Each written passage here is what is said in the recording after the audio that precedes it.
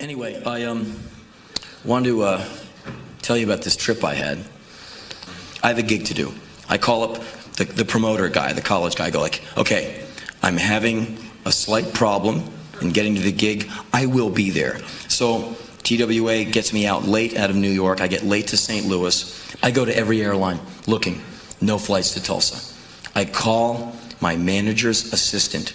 And so I said, look, I- I'm screwed. Uh, the flight got me up late. I got no way to get to Tulsa. I don't know what to do. You got any ideas? She goes, uh, call me in an hour and I'll figure out something. So I walk around the airport for an hour, just waiting. Call her back in an hour. She says, okay, okay, I've got it. Found a place in Tulsa. Private airlines, they fly, chartered air company. They're going to send a guy out from Tulsa to St. Louis. You'll make the gig. I'm like, okay. She said, do you have a problem with flying in a single propeller plane? Everything in me goes. And all I've ever heard is that single propeller planes are as intense as it gets, you know, in an airplane.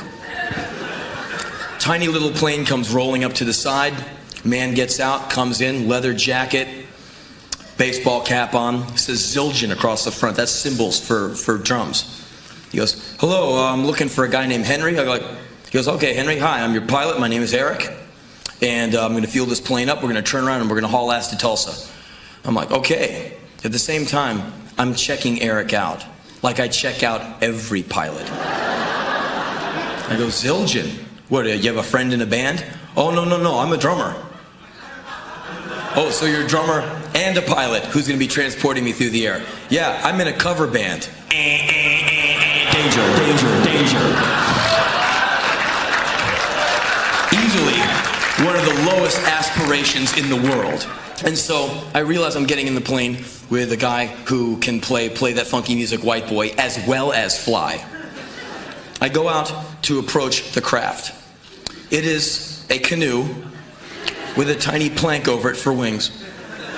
I go up to the door. It resembles the door of a golf cart. Unlock. This corny little door I can just pull off and give back to the guy. The space between the two seats is like this wide. I put my computer in there and my little backpack, and I get in and I sit in my seat. It's like tiny. I close the door, and I look at the lock because I'm used to being hermetically sealed into an airplane. Like, you know, arm doors for departure. That's intense. Arm the doors. Like, pressurize the cabin. My shit was lock, unlock. Lock, unlock, lock, unlock. So I lock it, and the door just shakes. I unlock it, just flies open. So one little latch is what keeps me from getting sucked out of the side of the plane like the airplane movie. So I go, okay, make sure the door is locked. Put the seatbelt on. Do not get sucked out the window. Do not touch the door. If you bump into it, you might undo the latch. Ah! Don't do anything like that. The steering wheel, there's two steering wheels, one for him and one for me. I don't know, I do not want a steering wheel. So Eric hops in the other side. And he turns the key and fires up this baby. And I am used to like feeling that stuff rearrange my innards. You know, they're like, well, we're ready for takeoff. Damn, man, we're going places.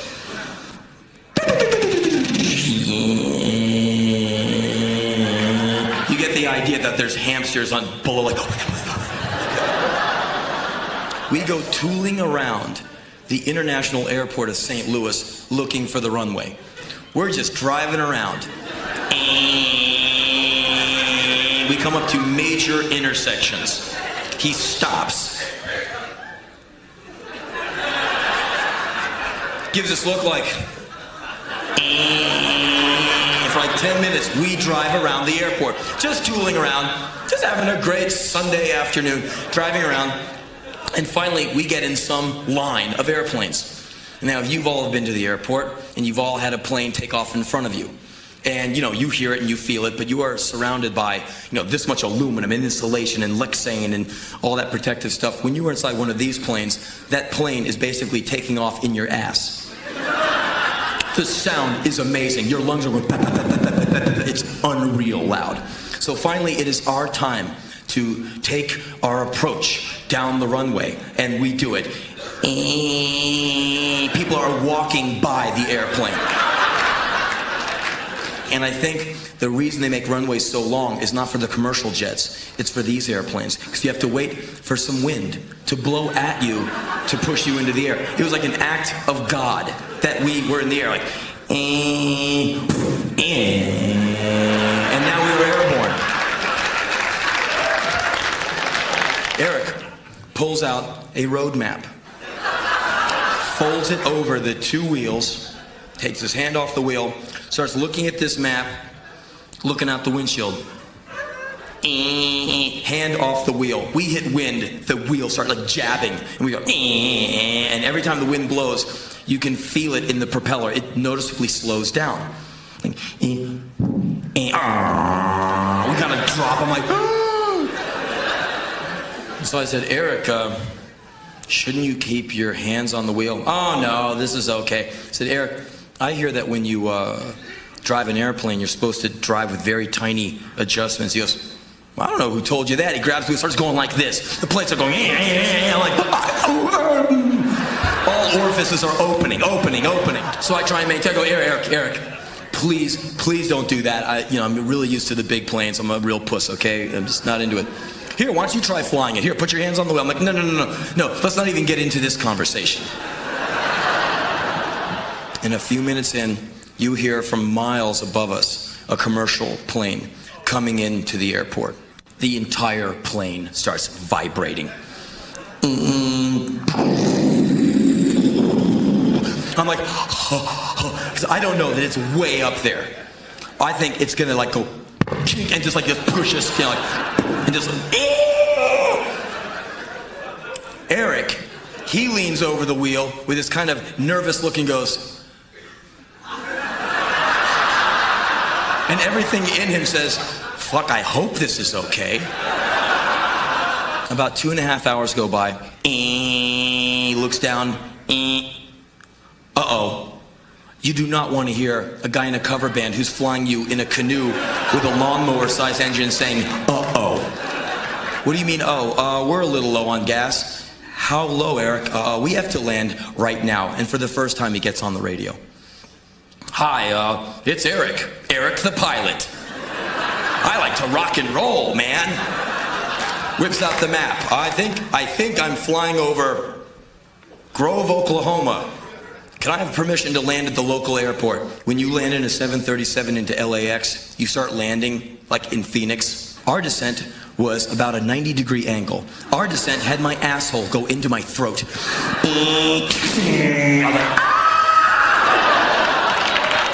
You know, it took like seven feet to land. He could land in a parking place. And so I go, Eric, what are you going to do now? Well, uh, better call my boss and see what we can do. Because there's no one at the airstrip. Nobody. No lights except for one bug light over the payphone. No traffic. No city lights. No nothing. Just warm, dry prairie wind. Me and this guy from a cover band. I said, so now what? He goes, well, my boss is calling the lady who owns this place. She's going to come over, open up the gas pump. We're going to fuel up. I'm going to get you to Tulsa as fast as I can. I'm really sorry. I'm like, that's cool, Eric. Okay. I walk over to the phone, dial it. No dial tone, no nothing. The phone is dead as a doornail. Hit the receiver a few times, nothing. Put it down. Eric didn't call anybody. Eric's not a pilot. Eric is a weird groupie fanboy, fatal attraction guy.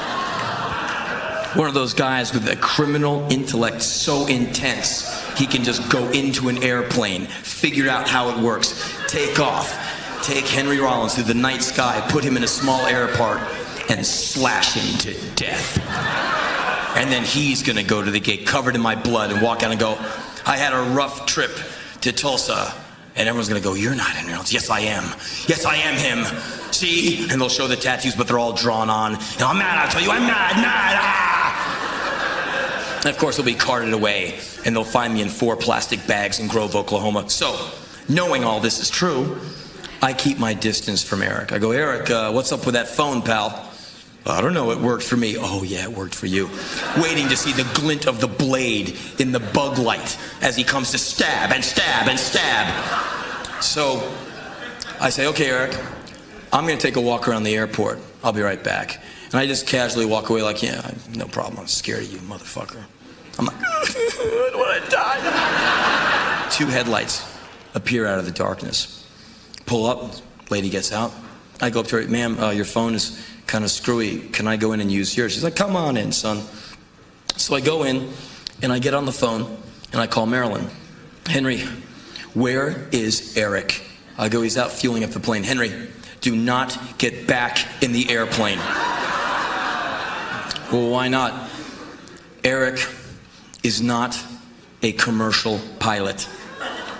The place I thought I was renting a plane from is not a chartered airlines. It is an airplane refueling center.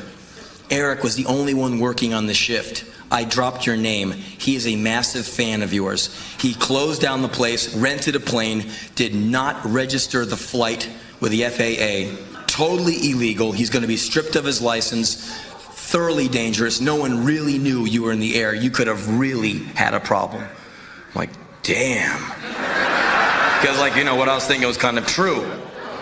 She goes, just tell me where you are. The students are ready to come and pick you up. They go, okay. So I, I say, ma'am, um, where can I be dropped off to wait? Is there a hotel? It's a hotel in Grove? Son, I can take you down the street and drop you off at one of two gas stations. One is open, one is closed. What do you have? I went, I don't care, you know, either one, whatever's closer. Son, you don't want to sit in front of the closed gas station. If our police see you in front of a closed gas station at this hour, you're in a lot of trouble. What, the cops that intense? She said, Have you ever seen Deliverance? I'm not kidding. She said this. I was like, The open one, no problem. And so Eric comes back in. He goes, Okay, well, the plane is full. Let's go. And there's like this silence. Eric, I'm not going anywhere with you. Well, um, uh, why not? I mean, he's like a guy who's like totally busted, but he's like still trying to front it. Uh, why? Eric, you're not a commercial pilot. Sure, I am. Sure, I fly all the time. Eric, you didn't register the flight. You endangered both of us. Bye, Eric. Bye bye. Okay, man. See you. Leaves. Into the night he goes. This lady takes me a mile down the road to Mr. M's convenience store slash gas mart. I'm watching the people of Grove, Oklahoma pull up and go in and out of the store. And they're doing triple takes on me. Get out of the pickup truck.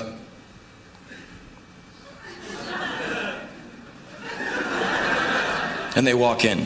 Three cops get out and stop in a semicircle around me and start approaching slowly. I go, hey, fellas, how you doing? They're like, don't move. I'm like, whoa, I'm sorry. I'm really sorry. Cool. He goes, youngest cop comes up. What are you doing here? So I have no vehicle. I don't look like anybody from around here. Black military fatigue pants, black baggy sweatshirt, dark hair, black backpack, black computer bag, black watch. Terrorist. Mission Impossible wannabe. Mercenary. Not the flavor in Grove. Sir, a liquor store was robbed about a mile from here. You fit the description. I go, oh, yeah. So what's that description? Still trying to be, see how harmless and funny I am? If I was guilty, I'd be going for a weapon or running or showing perspiration, but I'm laughing with you guys. Um, dark hair, dark clothing, short.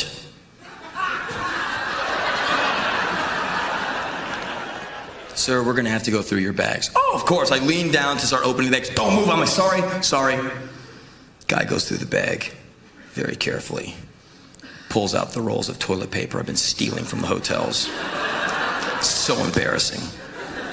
Pulls out like forks, knives, you know, a Denny's cup. I'm like, doesn't find any guns or money. He goes, uh, Sir, I hate to disturb you in all this. It's probably nothing, but uh, What car did you come up here in? I came with a lady who runs the airport. It was a, a dark red sports car. They all stiffen up. Son, the getaway car was a red sports car. You're going to have to stay here while we bring the witness. I'm like, hey, cool, no problem. They bring up this guy. He looks at me, shakes his head, drives away. The cops go, hey, sorry to, you know, disturb your evening. This is our job. I'm like, hey, man, I'm not even mad. It's cool. So they leave, and I now go into Mr. M's to buy a cold drink, and all I find is a bottle of V8 juice with a dusty cap. Like, no one drinks this shit. It was a mistake. It came off the truck. So I pull it out, $1.79, I put it down, pull out $2 and gives it to this, give it to this lady who's been watching me get hassled by the cops. So she already has an uh, attitude with me. Looks at the V8 juice and looks at me, and the whole look is like, what are you, a fag? so I'm like, you know, give her the money, give me my juice. So I'm sitting there, and the woman's just kind of leaning over. There's only two of us in there. She's leaning over, looking at me. Excuse me. Yes, ma'am. My son was just in here a little while ago, and he says that you look like this guy named Henry Rollins. I go, ma'am, that's who I am. She goes, oh, um, is it okay if I call him and have him come here and get your autograph? Because if he found out it was you and I didn't call him, he'll be really mad at me. I go, hey, no problem. Got nothing to do. Call your son, bring him over. 20 minutes later, cars start pulling up. The son had done a little networking around Grove using his Alterna Youth phone book. These kids with their hair still drying, you know, they're about to go to bed. It's like, you know, 12:30 in the morning. They're about to go to bed. They get the call. You're not going to believe this. The fucking MTV guy is at Mr. M's. Get out of here. Yep, I'm a liar. I'm a liar. That guy, the red guy, he's at Mr. M's. Get the fuck out. I'm on my way over there. My mom said it's him. He said it was him. I'm going over there. I'm going to meet this guy. And within, you know, half an hour, Mr. M's has like a, a small gaggle of Grove Alterna youth around me. Replete in, you know, Celtic weave, tattoo, pierced nose, pierced ears, pierced lip, pierced eyebrow. Marilyn Manson t-shirt with the awesome shit on the back. I am the god of fuck. The world is a cold place and you will eventually die heavy guy. I never met the dude, but I read some of his interviews. I think he's really sharp.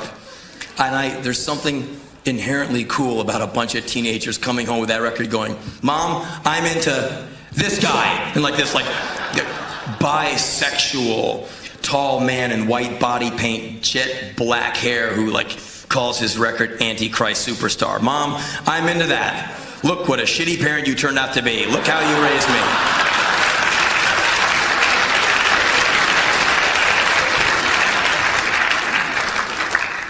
So they're coming up to me like one step at a time. I feel like I'm one of those National Geographic guys encountering a herd of gorillas for the first time. They've never seen a human. You know, so they're like, these kids are coming up. They're not coming, hey man, how you doing? They're like,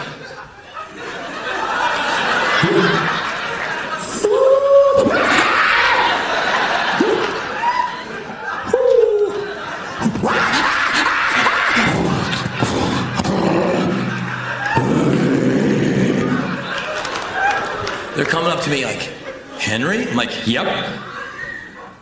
What are you doing in Grove at near one in the morning? You're not gonna believe this. I get in an airplane with a guy. He's wearing a Zildjian cap. He says he's in a cover band. What was I thinking? Well, I like to get to the gig. Tell him the story. I'm cracking him up, and I'm just looking at the just like not exactly wonder, but almost disbelief on their faces. Like, MTV man, aging alternative icon, drops out of night sky. It was written. If you make the correct signals with your flashlight, he will come. Owa Tanu, you know, whatever. So I'm hanging out. One resourceful young man goes down the street, buys a paper camera. The photo session ensues. Put your arm around the alternative icon hurtling towards 40. And they're like, you know, like, you know, like 13 photos later, you know, it must be looking like, you know, they're standing next to President Clinton or something. There's like that ironed on smile, like, and so more kids are coming in and they're all, I'd like $5 on. Henry? Hi, I'm surrounded by like these vampire kids. I'm like, yeah, they're coming over. We've been in Tulsa for like three hours waiting for you. There's some guy in an airplane who was flying. Oh, yeah, and I had to tell him the story. About an hour after that, the students finally come and get me. I get to Tulsa at like 3 in the morning, dick around in the hotel till 4, catch the 6 o'clock flight, get back to my hovel, change, go to band practice on no sleep, walk in, and everyone goes, Well, how's the weekend? And I said, I don't want to talk about it. And we proceeded to rock and roll. Wrong goes on up here. If it does, the performer is trying to disguise it so you think he never fucks up. You know, you go to a major rock show, it goes off flawlessly. The first show of the year starts in Brazil, a country we have never been to. I am so thrilled to be in Brazil. Santos. It's an outdoor festival, free admission. They're expecting 30 to 60,000 people outside on the beach, the moon, the sea. Us, Evan Dando, and Mr. Big.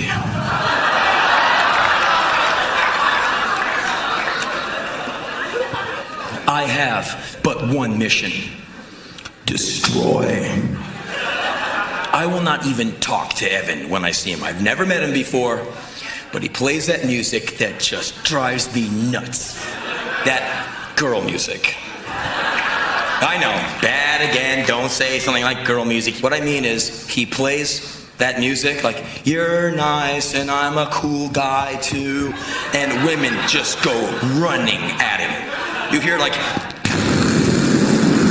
what's that sound? It's women running after Evan Dando. 13 to 25 years old, stupid, beautiful women going, Evan, Evan! He's just like, oh, hi, how are you? No, you can't come back to my hotel room. I gotta read and have some milk and cookies and go to bed.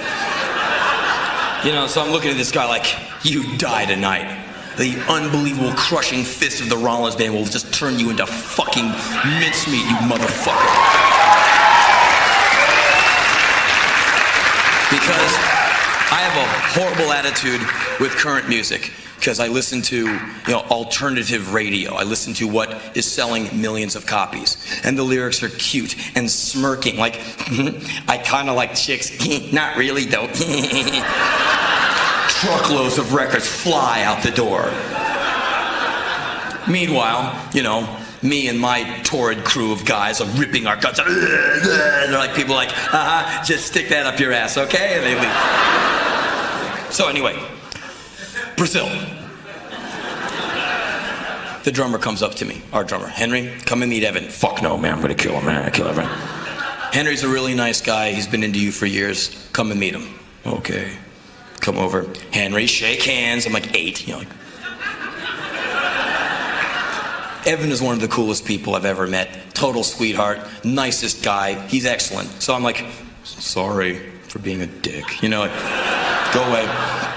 But then I get back into my head thing, man. I'm gotta rock and roll tonight. First gig of the tour, I'm gonna fucking kill everyone. South America, they're gonna see like sweat, muscle, screaming, rock power. So I get myself into a lathered frenzy before we hit stage. I'm already sweating. It's so hot out. It's nighttime, and you're just like standing there sweating. We hit stage, the band comes crashing in on the first tune. I have not said a word yet. My head comes down, my knee comes up, bam, knocked my ass out in front of all of them. Out. Out for like, you know, 12 to 20 seconds. Like, and if any of you have ever been hit hard in the head, you know how lost you get you don't know your name. You don't know anything. I get up wondering where the guy is who's attacking me. So I'm like, knowing I'm just gonna get killed now because this guy's just gonna pound me into the. I must have offended somebody. Maybe it's Evan. You know? So I'm like, and my head is like, and I'm hearing this weird sound behind me. It sounds like a horrible band trying to play some really good music. I turn around looking for my attackers. There's three people back there bass, drum set, guitar, and they're both playing, but the music doesn't seem to be coming from their instruments at all.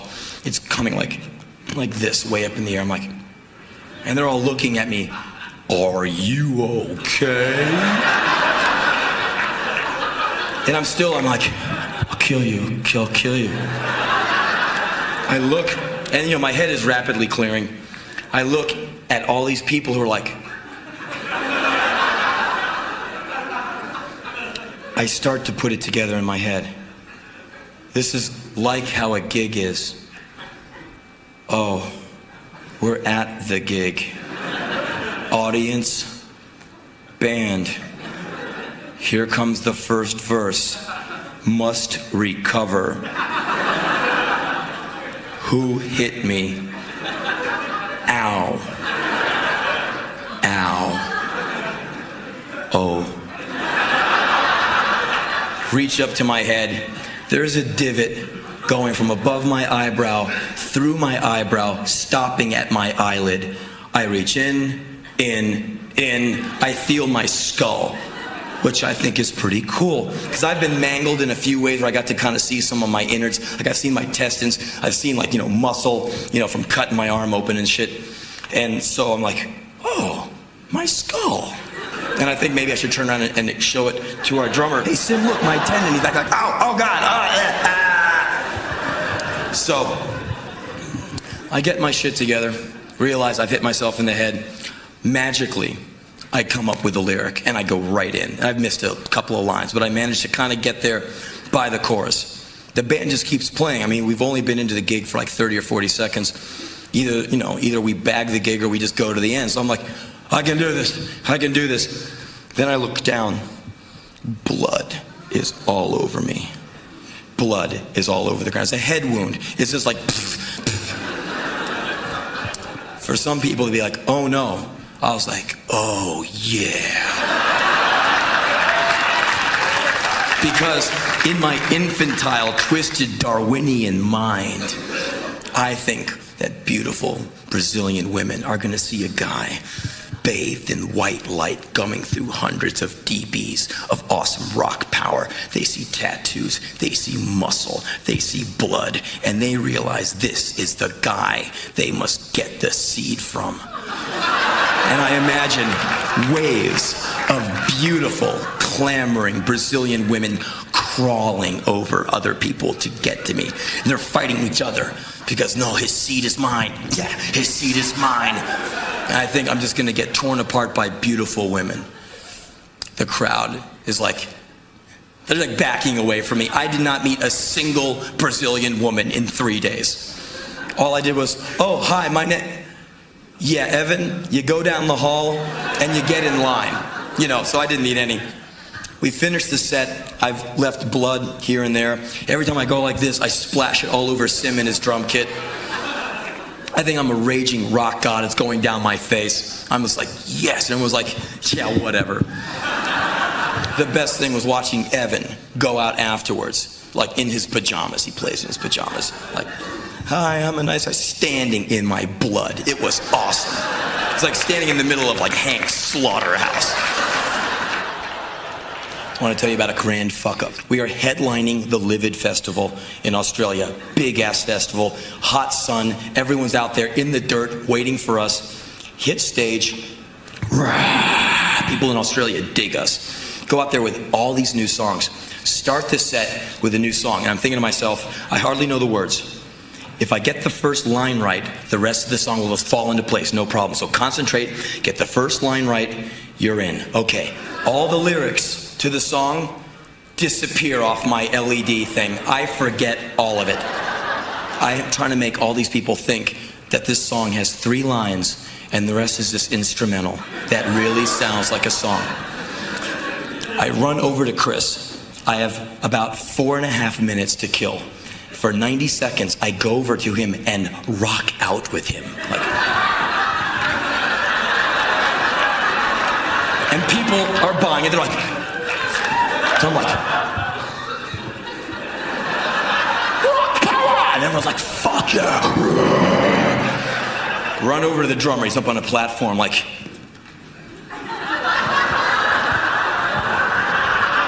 looking down at me like, what the fuck are you doing? You know, like 89, 90, run over to this Melvin, the bass player. He's like, doing his thing. I'm like, he's like, me, sing, you idiot. I'm like, shut up. You know, 89, 90. Da, da, da, da. So I go like, yeah, and the crowd goes, I'm like, yes, they fucking bought it. So I had to fake him out because nothing can go wrong on stage. You cannot have it happen. Awesome rock moment. Rock moment.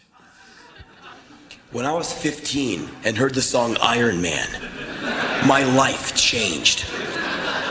And when I heard that voice, and when I heard these songs of alienation and this crushing guitar power, that was my shit.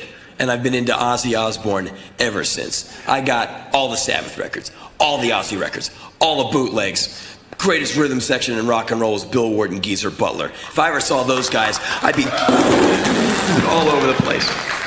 So, anyway, imagine my elation several weeks ago, slaving away at band practice, and we get a phone call from management, and uh, manager says, "Hey, you want to play some shows with Ozzy? Uh, let's see. You know, duh. What do you think?"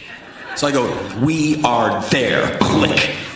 How many nights have I put O Z Z Y on my knuckles with with a sharpie? God, if I had a nickel for every single night, it is the awesome thing to do when you play festivals and you have to do all this press. Like, uh, Henry, so um, do you like to play the festivals? Yes, I do. and weeks later, boom, we're in Florida, awaiting our first gig at the Enormo Dome with the Ozman. And we're sitting in our dressing room, which is a locker. And I'm thinking, God, maybe we'll get to like smell Ozzy. Maybe I'll get like to, to touch him, or maybe I'll get a glimpse of him as he goes to the stage. You know, uh, no way I'd ever get to meet him, of course, but you know, maybe I'll just get to you know s- smell his hair care products as he as he gets golf carted to the stage. Door opens up. Ozzy walks in, no shirt and a cigar. Hello, uh, my name is Ozzy Osbourne. Can I hang out with you guys for a while? I run over to the couch, start pulling everyone's know, backpacks off the couch. Throw, sit, sit, sit, sit, sit, sit, please, please. He sits down. Hey, man, I'm fucking honored you come on tour with us, man. You guys fucking rock out, man. Fucking honored to have you on tour. Fucking God bless you, man. If there's anything you need, man, tell me or my wife and we'll get it for you. Anything you need to be happy, man. We want you to have a fucking great time. We're so happy you're out with us. Was the stage okay? Are the lights okay? Is the PA okay? Anything you want changed, man, we'll do it for you. He's like this totally cool, down to earth kind of guy you'd meet in a bar. Doesn't really know where he is. You know, he's just like rock and roll. And he's just super sincere and super cool. He's exactly how I'd hoped he would be. And I'm checking out all his tattoos. I'm like, oh, whoa, there it is. Oh, CCY, awesome. And so we go out that night and we play.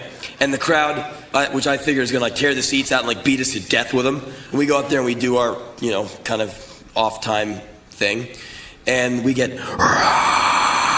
which means like, you know, rock power. And so we finish. I go, all right, thanks, good night. Ozzy Osbourne's coming up next. And we go off stage. 40 minutes later, changeover. Ozzy hits stage. The roof is flapping. And you realize at that moment that is 12,000 people going like, I, I think I dropped a joint on the floor. Excuse me, do, do you know where the men's room is around here? Oh, is there a band playing? Times 12,000 is. So I realized they didn't even know that we played.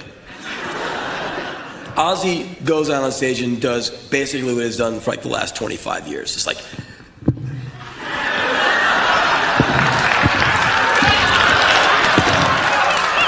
Let's go crazy! people in the crowd go positively batshit. They're holding up their lighters like with a, the. At our gigs, when someone holds up a, la- a, a lighter, it means we've been jamming too long. It's like free bird, free bird, pal. You're losing it. See the lighter? But this is like you know, And the people love this guy. Brings people up on stage, puts his arms around them, they headbang together. It's awesome. And he plays his ass off. And um, I meet his wife, Sharon, who's also his manager. She's really cool. And she says, uh, Henry, um, Rip Magazine wants to know if you want to interview Ozzy for the magazine. I'm like, interview Ozzy? Oh, yes. Tomorrow night, when the gig is done, you're going to come with me and Ozzy and the family. We're going to go to the airport. We're going to fly to this island that we're staying at called Amelia Island off the coast of Florida. You're going to get up in the morning, interview Ozzy, and then we have a limousine that's going to take you to your club date. Like, okay, so what, there's like a red eye that goes to Amelia Island? No, no, no, this is our private jet. Let me get this straight. I'm going to fly on a private jet with Ozzy Osbourne. She goes, Yes. She can see it coming. Yet, you know, male fantasy number 5,000. You know, she, she goes, Oh my God, he's a fanboy. So I'm sitting there like,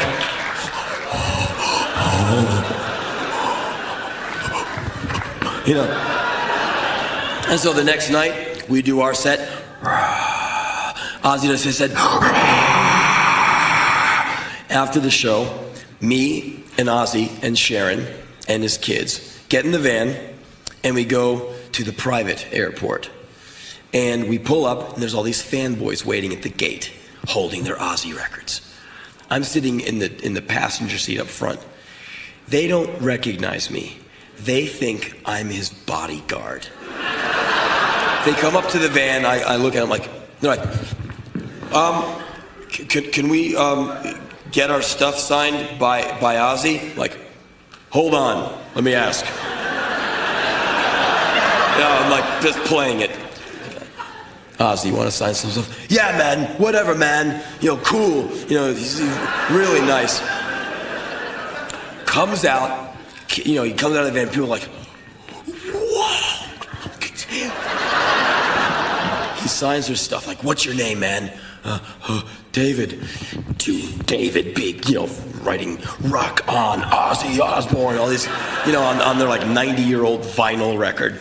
Gives it back. You know, these guys always have their silver or gold ink pens. And he signs up all their stuff, shakes their hands, and I kind of like move towards them. They're all like, I go, that's enough. We have to go get the plane now.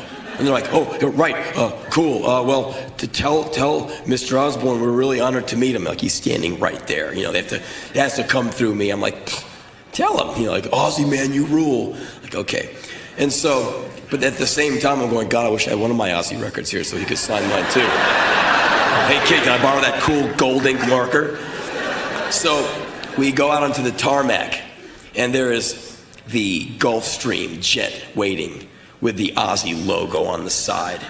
Two uniformed pilots, black pants, white shirt, black tie, the gold epaulets, the, the cap. I mean, they look like pro pilots. Standing there like,